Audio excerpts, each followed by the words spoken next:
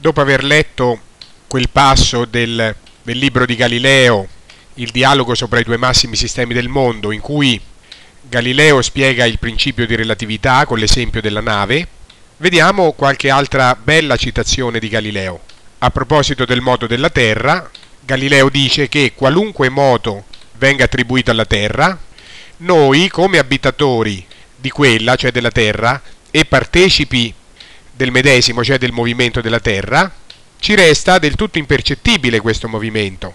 come se non fosse, cioè come se questo movimento non ci fosse, mentre che noi riguardiamo solamente alle cose terrestri, cioè mentre noi osserviamo soltanto i fenomeni che avvengono sulla superficie della Terra.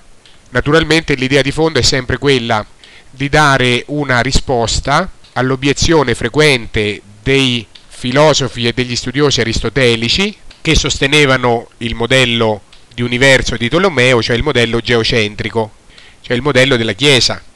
E l'obiezione di questi filosofi tolemaico-aristotelici era quella che se noi veramente ci trovassimo su una Terra in movimento che gira intorno al Sole, dovremmo avvertirne gli effetti di questo movimento. Siccome gli effetti non li avvertiamo, secondo i filosofi aristotelici, questa è una prova del fatto che la Terra non si muove, ma sta ferma al centro dell'universo. Invece Galileo risponde che qualunque moto venga attribuito alla Terra, a noi risulta del tutto impercettibile, come se questo moto non ci fosse, mentre noi osserviamo i fenomeni sulla Terra.